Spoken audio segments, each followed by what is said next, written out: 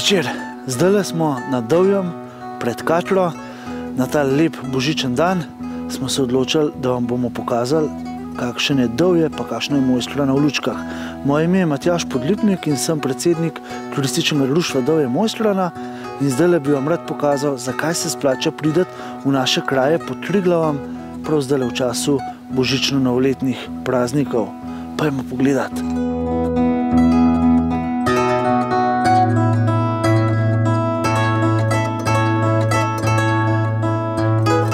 Kot lahko opaste, so naše hiše vedno bolj okrašene. Starovaško jedro tule na Dovjem je res lepo, res lepo žari. Imamo pa tudi najlepšo božično jelko v vsej krajevni skupnosti, mogoče celo v celi občini.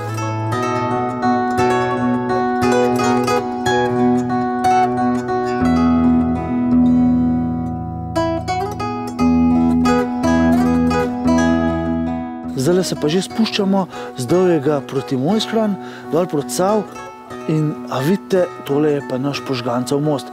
To je bil pravzaprav eden najstarejših eh, oziroma eden prvih betonskih mostov v tem delu Evrope. In gledajte, kako danes, kako danes lepo žari. Smo ga lepo okrasili, ne?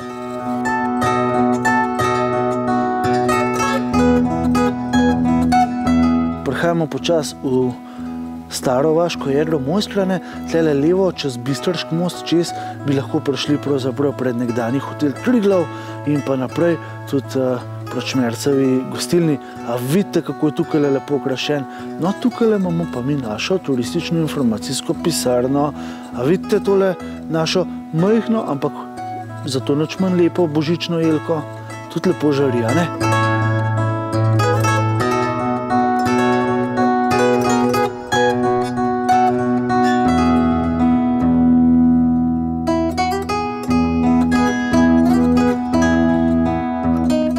Se pa že sprehajamo po glavni Mojstranški ulici, to je Triglavska cesta, ki je dobila ime seveda po najvišjem slovenskem vrhu.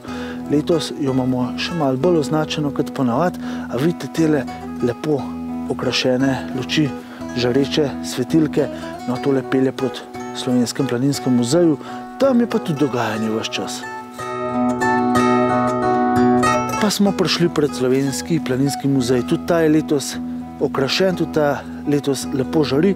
No, tule smo pa postavili eno majhno alpsko vasico pod Triglavom s tem tipičnim kočcem, tele lepe alpske hišce, ki jih imajo tudi v Kranski gori, jih imamo zdaj tudi v Mojstran.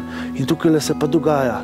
Tukaj smo pričakali Miklaužov sejem, tukaj smo pričakali parkelnek, so nas obiskali, no tule imamo pa, sem pa tja tudi odprte štante, kjer lahko tudi se malo pogrejete, kar pridite se pogret.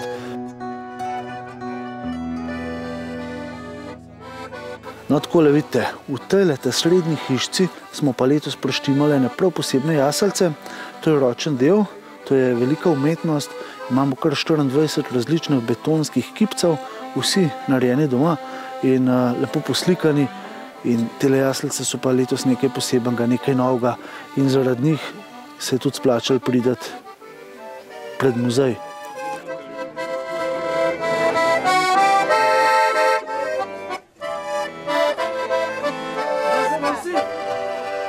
Jutr 26. bomo imeli pa prav božičkov tek.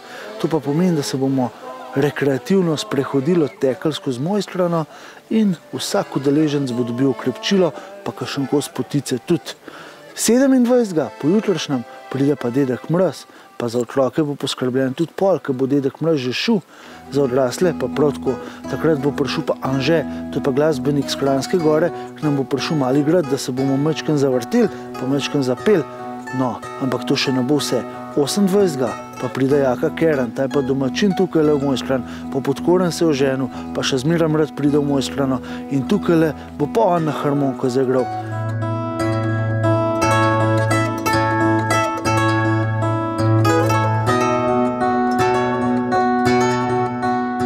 Preden pa pridemo do muzeja, pa opazimo še na lučke.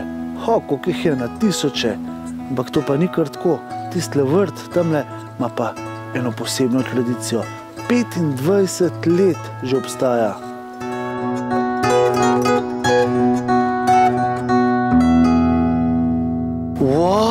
kaj tle le luč, kaj? Se tam gre pa stane, živa. Živo, živo. Je pa letos uh, noro. Vsak let je, je več lučk v viharniku. Koliko pa je vseh teh lučk tlele? Ja, eh, če bi jih štel, približno tam je ne 14 tavžent. 14 tavžent lučk. 14 tavžent, ja. To, to pomeni za vsakega občana tri lučke praktičen. ja. Koliko Ja. cajt pa že je tale vrt? Tale vrt uh, je letos, no drugo leto bo praznoval 25 letnico, odkar sem začel s prvo korenino, na, ravno na tem mestu, ki zdaj stojijo, sem začel. A prav tlele? Prav na tem uh, koncu vrta. Tole je super. Kaj pa tam ne vidim, kako rene jasalce, to je tudi Ja, jaselce so pa več ali manj narejene v uh, gorenskem stilu, naj bi bila kar uh, nekoč mojstrana, ker uh, v teh jaselcah je žaga, so je mlin, uh, kmetije, kašče in tako naprej, ker uh, mojstrana je bila znana po teh mlinah in žagah. Ker tukaj mem tega vrta je tekla voda in uh, to vodo so pač mojstranški uh, kmetje izkoriščali za žaganje svojega lesa. super, res zanimiv, res je dober. Ampak kaj pa so, na teh tablicah so pa, so pa znani športniki, ja, na Jure Košir, ali kaj V dolžen. glavnem, to so pa olimpijci naši, vsi 18 uh, olimpijcev, primore mojstrana. Uh, tako da je ena vasica, kot je uh, po prebivalcu, kar nas je v krajevni skupnosti, uh, največ olimpijcev, po mojem, kar daleč naokoli.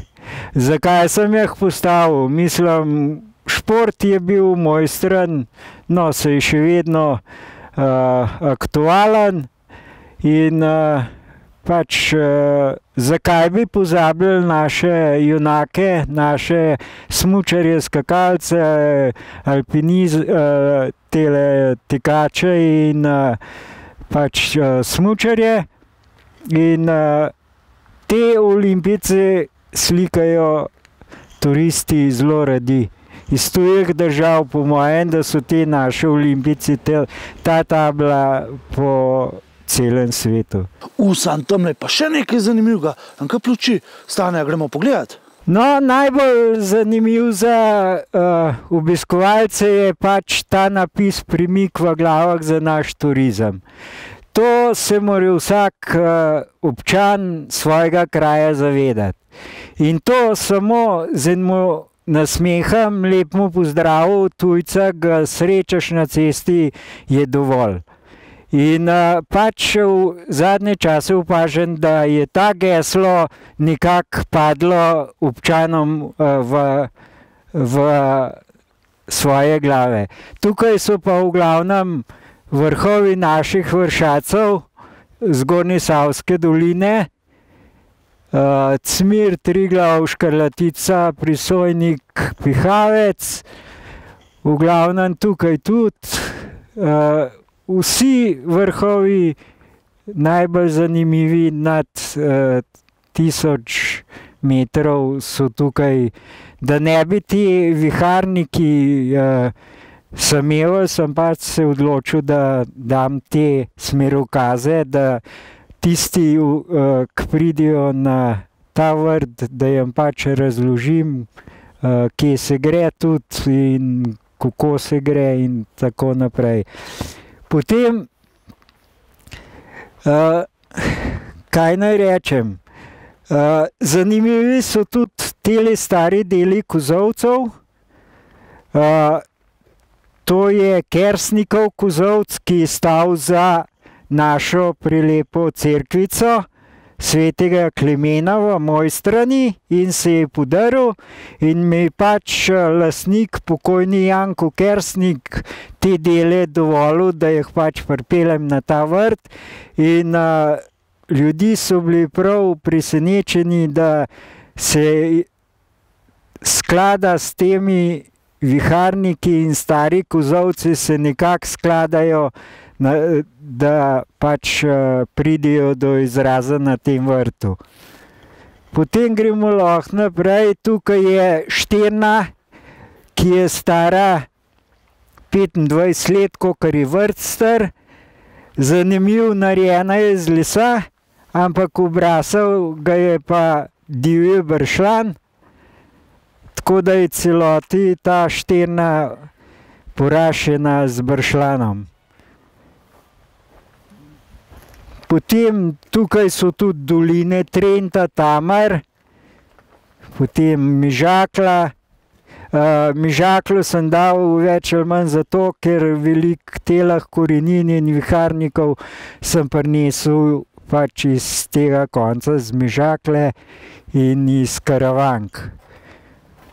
Potem tukaj je drugač prostor za počitek, tukaj sem pa dal uh, pač, da uh, se je začel 25 let tega vrta viharnik.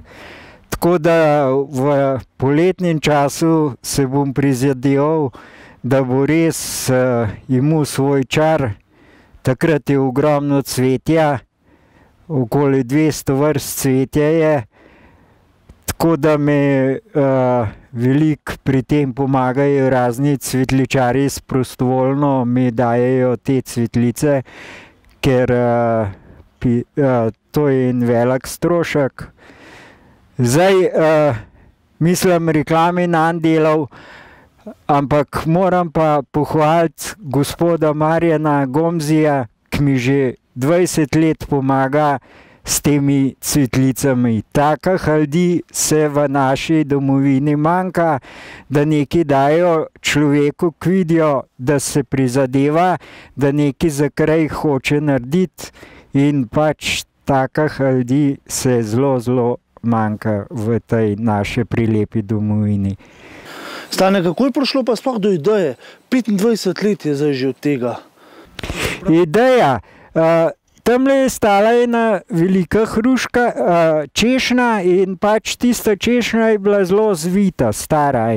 In potem smo jo podarili in sem na začetku vrta, prej smo tam stali, sem rekel, da se je tam vrt začel.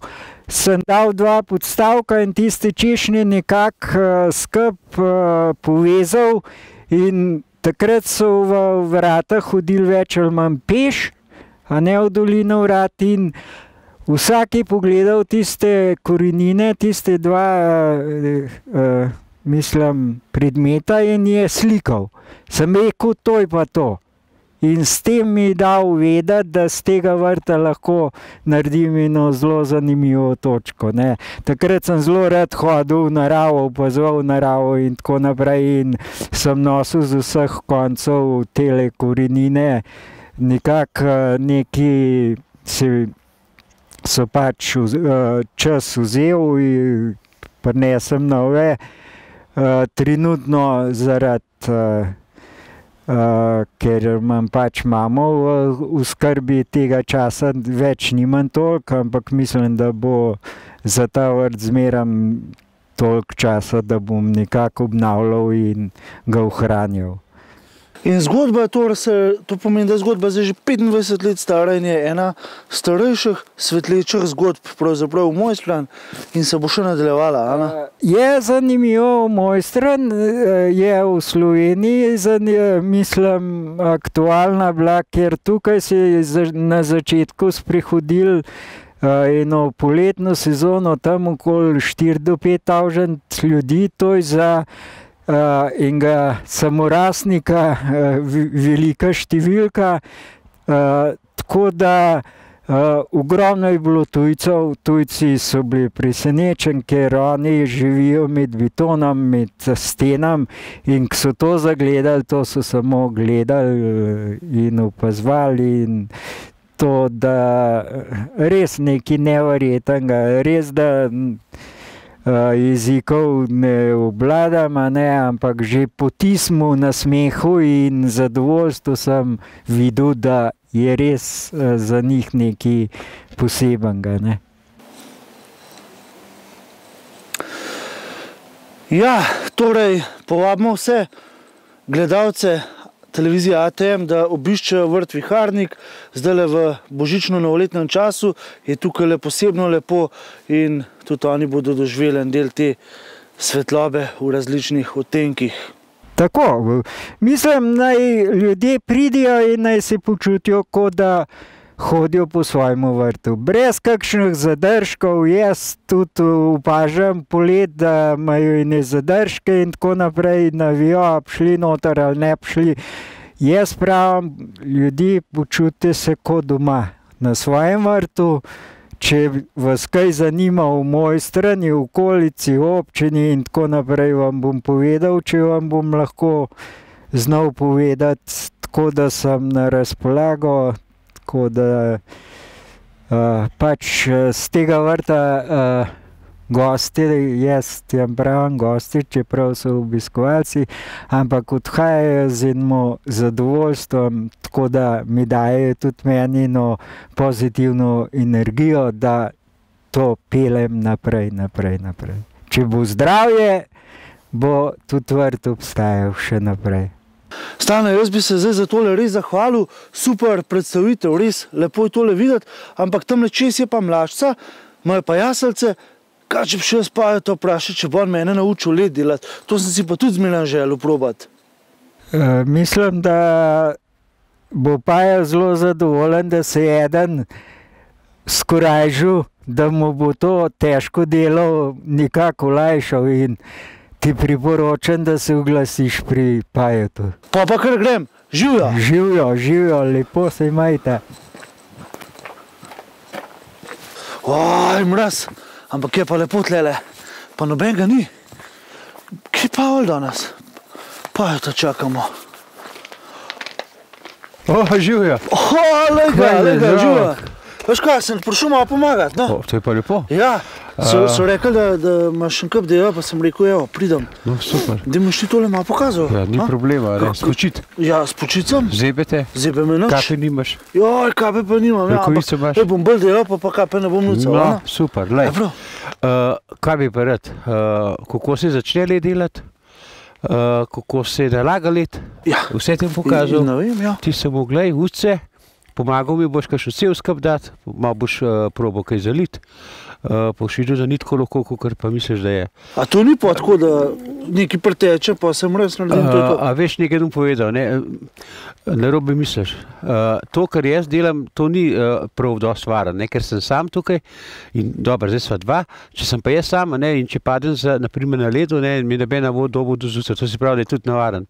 Uh, Ko bo, ko bo pa nalivala eh, te okraske, boš pa videl, da so centimetri važni, pa milimetri. Aha, Kako naklon postaviš uh, šprice, ne, tega, da ne uničiš vse, kar si prej naredil. In če tega na ošmerko ne boš ledu naredil zjutraj. Lahko ti po- sam, sam tam lepo vidim eno šajlgo. Šajlgo Ja, tudi uh, delaš, za ne? začetek boš uh, za trening ne štirikrat gor pa dol po cevu prizoriš to Ja, pero. Ni problema. Uh, to jaz zjutraj delam. Tole je zamrznilo, lega, tole jaz tudi premagam, Ja, to jaz zjutraj vozim, da to da Mene- Mene, posijem. mene kar malo zebe, že Da, uh, ko ljudje pridijo, da je hiter posuta. ne. Uh, ker moramo zaradi tega, ker pač uh, kakšen prosijo, da bi prišli uh, v miru pogledati, ne. uh, pa je pa treba vse posuti. In to je veliko, to je 30-40 čajtrka. ne. 40 šajter Ja. V pismo. Uh, zdaj jih je po 5-6, ne, ker je pač že tok posud, uh, samo zdaj bo rosa, uh, mislim, rosa, prišel gor Julije. Julije in bo Julije, pokrutale ja. in bo potreba zjutraj spet znova. Zdaj je pa dober. Uh, ja, ni, nikoli na ledu, nikoli nisi varen. Uh, moraš ga spoštovati, moraš hoditi kot po asfaltu, ne kot po pesku, če ne boš padel. Aha, kako bo to Uh, pomeni? Kako, kako bo... Da normalen stopaš, Aha, uh, zaradi tega, ker dokler časa uh, normalno hodiš, narediš uh, med nogam, pa med ledom ne narediš take lezure, ki ti poj zdrsne. Aha. Uh, jaz drezene uporabljam zaradi tega, ker smo civi, pa hitro se premikam, ne, ker nimam samo to, imam še na vrh slapa jeta. In če imam dreze, potem moram merkati le na civi, pa je na kabelne električne, uh, tako sem pa varen. Ne, in, uh, Da pa, pa zdaj ti tole malo pokažem. Uh, ti zdaj samo povej, kaj bi ti rad uh, zvedel, pa kaj bi rad vedel. A škoda mene zanima, ne? kako te prata vse te oblike narediti. ne? Se zastopamo, veš, da se le dela, če je mraz, samo le, če tle dol pogledava, a ne, mislim, take krogalce rata, tam le špice rata, Mislim, kamorkoli pogledam, lej, je čisto drugače. Ampak, lej, mislim, pod smreko spode pa ne rata, ali kako? Uh, veš, kako je. Ne? Mislim, to ti bom pokazal. Uh, to je glih to, uh, vsemu je temu, kako ti nastaviš te uh, nastavke ne? za vodo špricati. Uh, po drevesu gor je težko delati, zato ker smreka ima vse uh, gladke igalce in se voda težko prime pri takih visokih temperaturah. Zgoraj uh, začne drseti in potem šle v spode zmrzuje. Se po eni strani je to pravilno, zakaj? Zato, da ne poškoduješ drevesa. Uh, ki pa enkrat brez, naprimer minus 10, potem pa ti lahko to delaš in lahko vajo pripeleš, naprimer ta vaja, vidiš je dol, je do tav, pa ni zlomljena. Ne?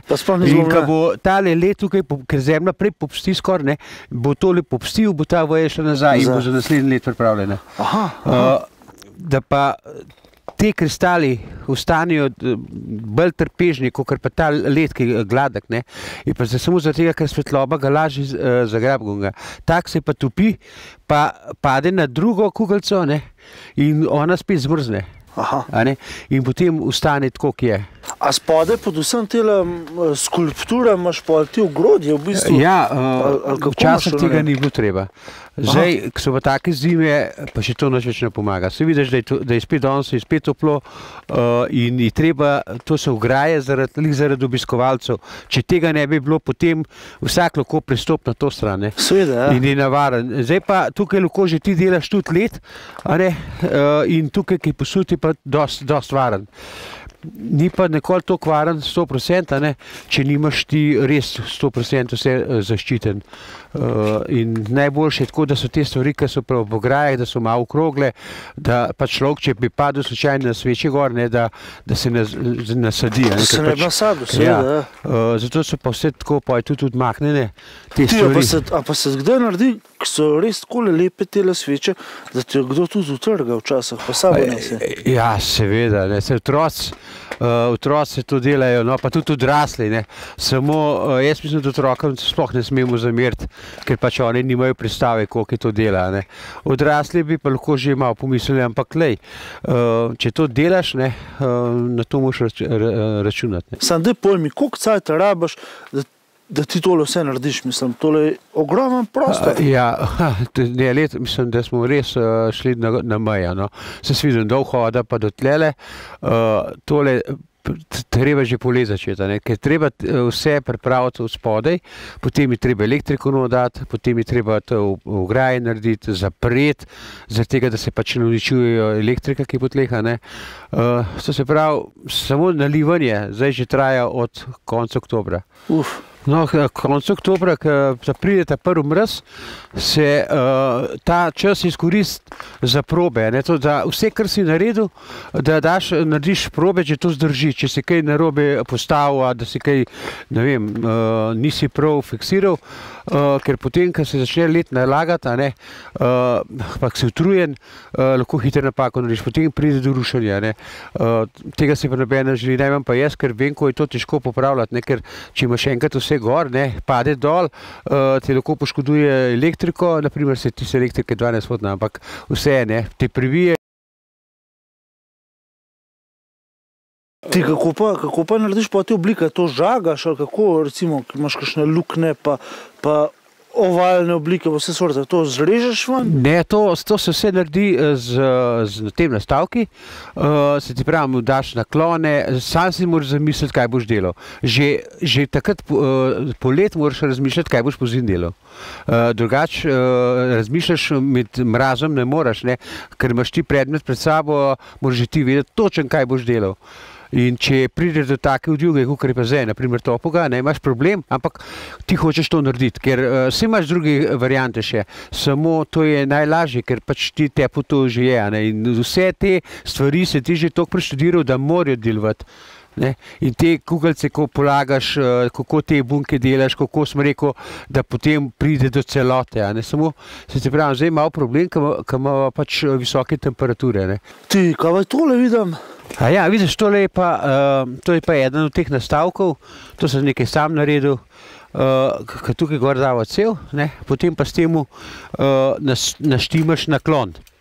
A Ne, in zdaj, ko boš ko delaš, ko boš delal s tem, moraš merkati, ne, a vidiš, to se premika. Aha. In uh, s temu ne smeš nikoli priti v let.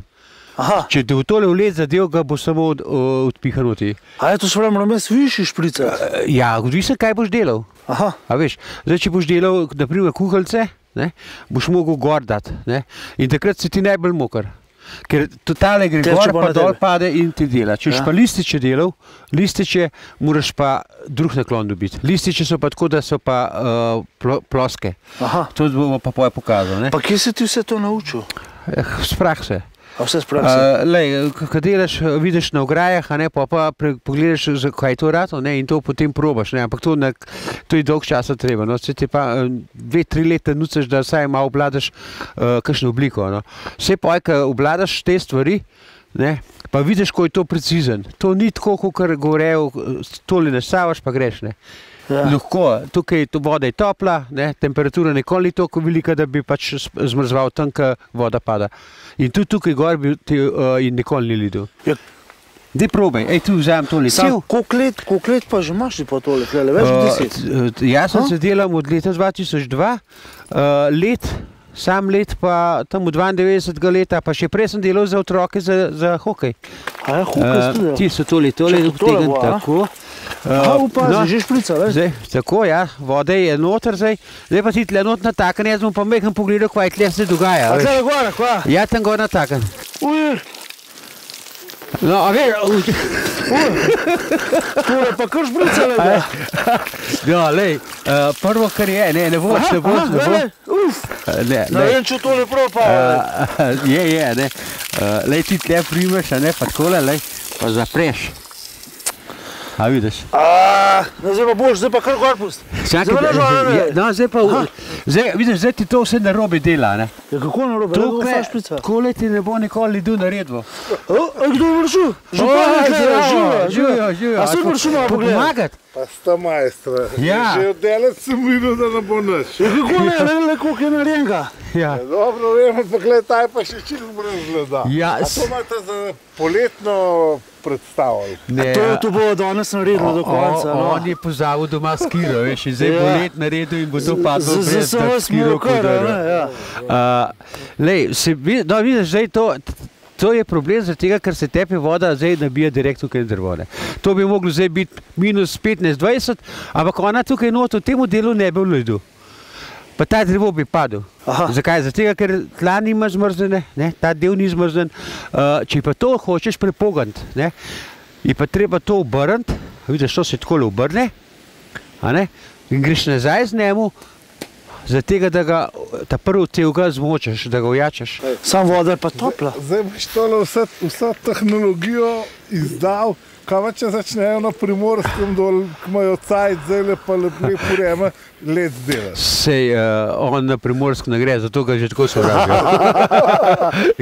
ne mu lahko zaupamo stvari. Ne pa še tako je, ne, se ni samo to. a Veš, in kup drugih stvari je, naprimer ta voda, a čutiš, ne, ta voda je topla. Topla je, ja. Uh, in to je problem, da ker je voda tako topla, minus ena pa je. Ne? In pri minus ena se pač tole vse, vse delo. To je uh, res, ne? To, zdaj, če bi ti hotel meni tle let narediti, zdaj samo to, to ti reš, rešuje. Ne? Uh, to, ti, to ti rešuje, ja, to, to je čisto normalno, veš, to se dela, pa to še zdaj ni nič. Ker se vse te stvari na tak gor dajo, ne? potem pritisne rase, ki je to napad in jih izklapla. Ne? In ti moraš vse pregledati, pa toliko časa to gor dajati, pazi, eh, da, da, da ti to gor ostane. Toliko časa moraš navijati. A Pa, veš, ja, samo pa zdaj mislim, mislim, da so šmugu prevleči, no, šti za mrzlo. Ne, oh, pa to nič ni. Jaz sem včasih tako mokr, da tudi uh, stati ne morem. Veš. Mislim, problem je to, k ni mraza. Če bi to mraz, ne, bi zdaj zmrznilo, pa bi bil suh. Pa nismo kar. Imaš kaj šnopsa? Ne, vodo. Dobro, če vodo. poliješ, da ga malo. Uh, če bi šnops, bi bil dva dni, pa bi bil res bovo. Uh, če si želi bolj, da to vodo piješ. A pa je to res, Potem nisi slišal, nikoli bovo. Poslušaj, jaz nisem nikoli tako bovom prihojen, da, da bi kašlo kaj takega. Ne, pač tole vodo pijem. jaz sem pa slišal, če hočeš biti dober za let dela, da moraš politanke veliko jesti. Ja, pa je res? Pa kofe, pa, pa kakšen cigaret. Pa kafe. Uh, se to je edina, mislim, to je glavni sponzor, je uh, Kolinska, Jadro. Pa tako, pa take stvari, ki delajo uh, te stvari. Ne. No, zdaj pa ti meni probaj nekaj narediti. a Ne. Ti pa je sam sklele, zdaj meni razlagal. Lističi, kugalce, sveče. Pa, kaj so to za ne oblike vse? Mislim, zdaj sem se skoraj malo zgubil, po mojem. Ja, uh, lej, to, Kaj to, kaj? ti bom jaz nekaj pokazal. Ne. Uh, a vidiš tale del tle noter? A tole? Tole, vidiš, to so sami kugalce, a vidiš, da so okrogle. Ja, saj so In tudi vse oblike bojo ratale, kot tam le dol, vidiš, vse bo v krogu. A pa tele, le, Tu Vse, tukaj gor bojo prišle te kug, uh, kugalce, bojo prišli zraven, na vrh. Aha, Uh, to pa pogledamo, pa je nek vmes. A vidiš tukaj gor, ne? A vidiš? aha, tle se že dela. Aha, tukaj se že delajo. Ne? To se pravi, bo obidva dala toliko vode, da bo tukaj to pika strat, tako ježek. Pa pa lahko naredeva, če hočeš imeti piko, pa še špico gor, mora pa temperature biti uh, majhen višek pa zdaj. Čeprav je zdaj minus ena, veš zakaj? Tega, ker potem let voda uh, poje let in nastane špica. Aha, A veš? to se pravi, kar je višja temperatura, te dobro ratujejo. Uh, samo špice, ne te. Ja, to to ja, mora kugalce, špice, mora špice. bolj mrzla biti, kaj pa špice, Aha, pa aha, boj aha. kapelcev pre, prelukne. ne. Aha, aha. In, A uh, tole so pa sveče, pa to- tole vidim. a ne? Ja, to je pa sveče, zato ker se tukaj gor, pa so prvo kugle naredile, ne? Aha. in zdaj se bo ta greben povečal in bojo te tam male kugalce prišle tukaj gor. Aha, A ne, to bo večinoma narejen s kugalcem, lej, na te strani imaš posamezne gor po vrhu že. a ne. Oj, to je cela a vidiš, a vidiš tukaj gor, lej. A ne. A vidiš, tukaj je že uh, tako oblikovano. In Zdaj, bo, zdaj bi lahko to odzignil še gore naprej 20 cm, pa bi dal tako spet, a ne pa, pa tiste tvoje lističe gor na vrh, pa spet kugalce, a veš, samo mora biti temperatura ta prava za to. ne. Kaj pa mene še zanima, kako pa bok narediš? Tam sem videl bok. Uh, ja, v bok je, je pa tam. Ne? No, to so pa, vidiš, te so pa te ploskovne. Viš, te so pa že bolj listi, ne? to so pa debeli listi že narejen, uh, če jih hočeš stanjšati. a ne. A vidiš, tako se okrog obrn, pa poglej uh, v let noter, pa vsi da je vse lepo uh, zlihan. Tam gor ti bom pokazal Ja. na, na ograj, Ja. ka delamo ograjo z tega. Aha, ne. aha. Uh, tako da boš le- se lahko predstavljal, kaj so kugalce, kaj so ti lističi, Aha. kaj so pa ti sveči, ki dol No, visijo le iz voda. le tle je bok, a ni? Ja, eh, tole, vidiš, to so pa prepognjene palce, Aha. uh, pač to rase, to ni več polomljen, to, to je ja, to, to se ne bo polomil pol. Ne, ne, ne zaradi tega, ker tam vidiš, da tam je ujačen, vidiš Aha, je zalit, ne, aha, le aha. koliko ljudi tle noter. Aha. Uh, pa tukaj je tudi, a vidiš, so, so sveče dol obrnjene in to drži. To je Aha. dosti močno. Ne, to, če tako le probaš, vidiš, da je kot. Vse je eh, zalit, le. Uh, kot da je to res, res stabilen, ker mora biti zaradi ljudi. Ja, Te so ja. pa, pa tudi velike sveče tle ne smejo biti, so same take majčkane, uh, te so najlepše. Tudi, ne. je zanimivo, le, kako da pravi. ja, uh, to je pa odvisen, kako iz hitrost voda šla. Ne. ja. Ne, če, če gre počasi voda, te tako dela, če pa hiter, pa tudi včasih gre po stran. Lahko pa tudi sam to narediš, da jih narediš pravokotno. Aha, Uh, usmeriš vodo, ne, uh, pa spet mora dosledno biti in potem ti, te sveče ne bi bile tako. Ne. Zdaj, če bi mi dva hodila, te sveče ob, jih obrneva lahko na gor, lahko jih tako obrneva, lahko ke, a veš, kar nekaj. Ne. Uh, tako da, da, da res imaš veliko možnosti, samo pač treba je pač stvari obvladati, pa do prej nehati. Ne. v teli so tudi zanimivi, le ti to, kako pa stole naredil. To so pa jurčki. Ja, To so jurčki, ki so v letu kovani. ja. Uh, tukaj je pač uh, samo to klidu bo, ker pač uh, le, Tako da so jo videli skozi. Tako je. Aha. Uh, pa tukaj gor so ptičje hiške. ne. Le, le, so res ptičence. Aha. Ja, uh, Kdo ti te ptičence naredil, le, ko so ja, dobre? to so uh, nekaj kupljenih, nekaj so jih pa otroci redili, so pa tam dol uh, na vhodu. Aha, aha, aha. Tako Uh. Zanimivo. Ti koliko pa misliš, da je ljudi letos? Ja, lej, veš, kako je, temu jaz ne vem. No, lej, če več pa eden pride, to se pravi, da že ti prišel, sem že zadovoljen. Pa če, se, če ti je všeč, sem zadovoljen, ker lej, ne moreš uh, take stvari uh, govoriti, ne, ker Je težko ker se lahko čez en dan, sploh po naravi, ne se veš, danes je tako, jutri je pa lahko katastrofa. Ne. Uh, to nas je že izučilo, uh, lej. Če, samo da bo vse v redu, Aha. da bo program stekel tako, kot je treba, pa da bodo ljudje zadovoljni. No, saj vidiš, zdaj so, kar so videli tole, so že presenečeni, da sploh to obstaja. Je seveda. A, Pa pa sploh, da v teh temperaturah vse No, to vidiš, to je pa, to, je, eh, to, so ti prej govorili, ne kako vaja pride, lej, Aha, kako je Aha, zavesel. tale spode, ja. No, to, to lahko ti narediš, to že znaš, ker si tam pokazal, da znaš drevo zaliti. ne. Uh, samo je treba pa, pa uh, res meriti, da se ne polom, ker tukaj se ne sme lomiti. Če ne, bo brez. No, vidiš, kako si lepo nalaga. Ne? Aha, aha. Ne? Tako je ta ograja porata. A ne, Tako graje zboj dela.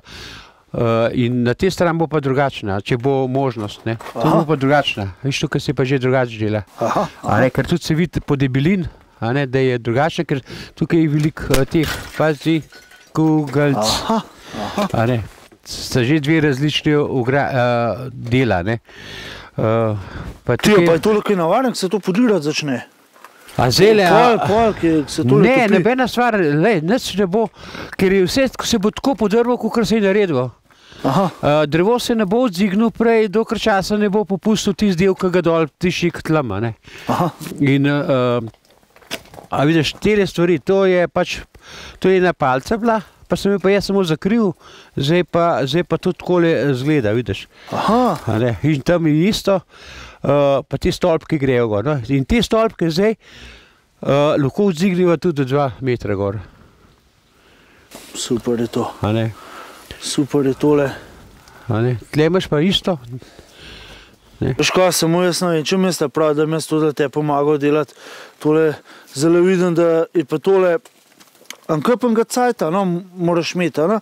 Ja. Pa, pa mraz je, pa mokr skos, pa Ja, moker- prebrneš se na ledu.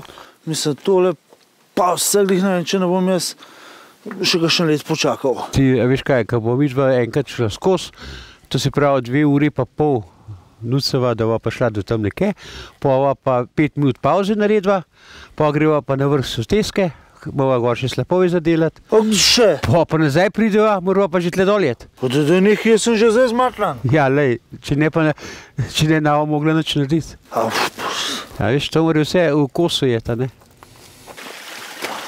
Čakaj pa, a tole so pol te prave jasalce šele, niso tam spodaj. Ne, tam je uh, ledena dežela, tlele so jaslice, viš hlevček, a ne vidiš? Tukaj je hlevček, Aha, uh, tukaj k tej luči vidiš, ne?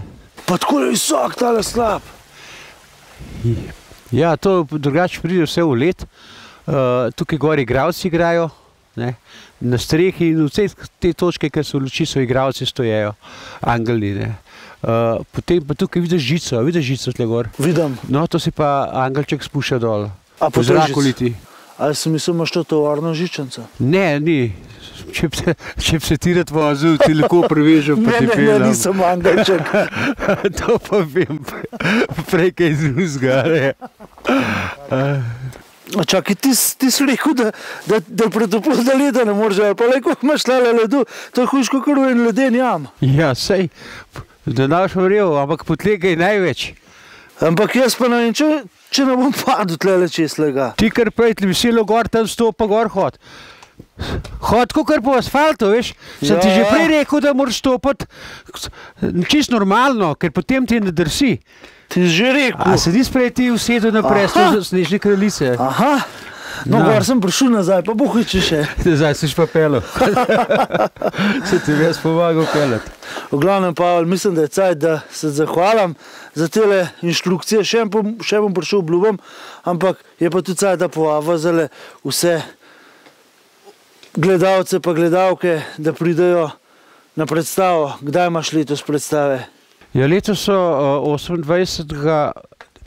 Uh, 25. do 28. pa 1. do 3. To se pravi od 4, 5, 6. Tri.